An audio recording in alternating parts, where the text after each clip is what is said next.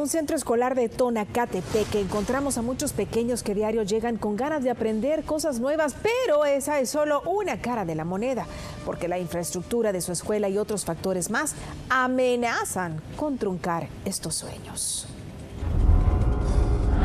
Una, dos, Es justamente de tres a cuatro pasos lo que mide este salón del Centro Escolar Nueva Jerusalén de Tonacatepeque. Es acá justamente donde se guarda el material didáctico y las computadoras de aproximadamente 175 alumnos de esta escuela. Este es solamente uno de los problemas con los que cuenta la institución. Era un gatito buscando algo que comer en la basura y era tan que cuando se acercaron salió corriendo. ¿Quién salió corriendo? El gatito. La triste realidad de niños del centro escolar Nueva Jerusalén que solo buscan superarse en la vida. Y ustedes ya observaron, los techos están bastante deteriorados.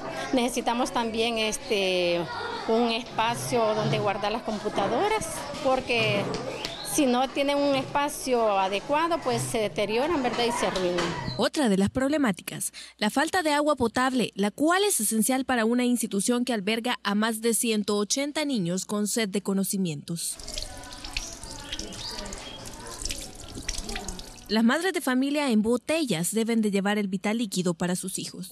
Porque a veces pasamos hasta 15 días sin agua acá, entonces nos toca que estarle trayendo a los niños el agua para que ellos tomen, agua para que se laven sus manitas. Eh, a veces eh, para las plantitas tampoco no tenemos, pero...